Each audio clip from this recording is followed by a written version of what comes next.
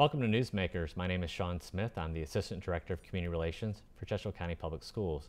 Joining us today, Debbie Bailey. Welcome to you, Debbie. Hi, thank you for having me here. Uh, it's great to have you with us. Um, we want to talk about, uh, amongst the many recognitions I'm sure you've received, a recent one is you were named the Middle School Teacher of the Year. And for our viewers out there, you're at Carver Middle School. You're the Social Studies Department Chair. First of all, congratulations Thank to you. you. Thank you. And um, if you would, walk us briefly through what it was like when you were named and recognized as the Teacher of the Year that day.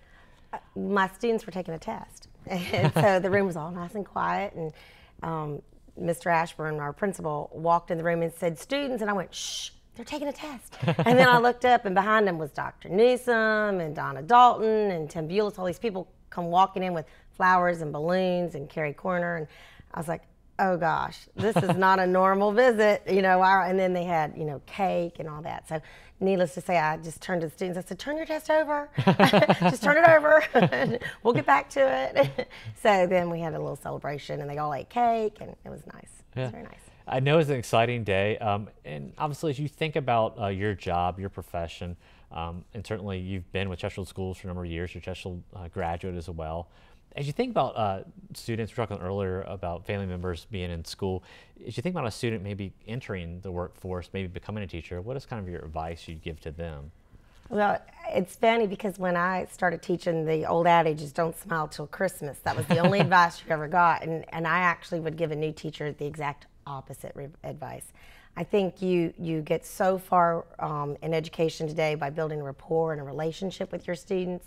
Um, they, they really are people pleasers. Students want to make their teachers happy. No, no student walks into the classroom saying, I want to be the bad kid in class and I want to fail. They really want to make you happy. It's just get, giving them the um, insight into your life and into who you are, and then learning about who they are, building that relationship and making the connections. It, it goes so far in motivating them as learners because they want to work for you. They want to they want to succeed for you because that's really innately, I think, what human beings all about. Nobody wants to make people unhappy. I Right. think they do try to please, and so my students, they usually they, they strive or try really hard just because they they want to make Miss Bailey happy, and it works. At least it works for me. And I think the best advice I could give to a new teacher would be, you know, just don't be afraid. Don't be afraid to connect with your students. You don't want to be their best friend, but you want to show interest in their lives. And as you think about obviously that connection you're making, everybody has their own unique style in the classroom.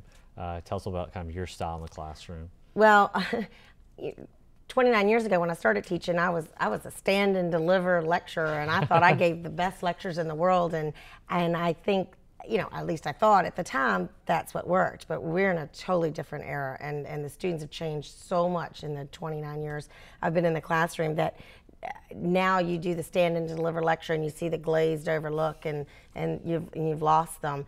I um, have spent a lot of time researching and embracing the project-based learning methods and uh, went full on into it this past year. And I can tell you that it probably is not my preferred way of teaching because I love to talk. this is, but it's not all about me, and that's what a lot of teachers need to recognize as well. It's not about your preferred way of teaching; it's about their preferred way of learning. And students today learn in a collaborative, group setting, project-based learning, things that are um, more hands-on. And uh, I think my students really did well this year with it. Um, again, it's you know it's a different it's a different it's a flip and it is a flipped classroom. They did a lot of online modules that i developed and things at home and then we did the projects in the classroom working in groups and collaboratively. I never once stood and lectured. I never gave a single note all year. They learned completely differently and they did just as well come end of year testing as they had been doing. And I never woke a child up once in my class. I mean, um, you know, and no matter how great of a lecturer you think you are, no one in my classroom fell asleep this year. I'm sure many accomplishments that one you're most proud of. yeah, no one fell asleep. That's because they were completely entertained with each other in their own yeah. little engaged, engaged group setting and problem solving. They were problem solving the whole year, and they liked it. Well, we want to say congratulations to you again. We appreciate you being here and uh, wish you the best of luck for your upcoming school year as well. Well, thank you. Thanks for having me. And thanks to our viewers. Please join us next time. Learn about Chester County Public Schools.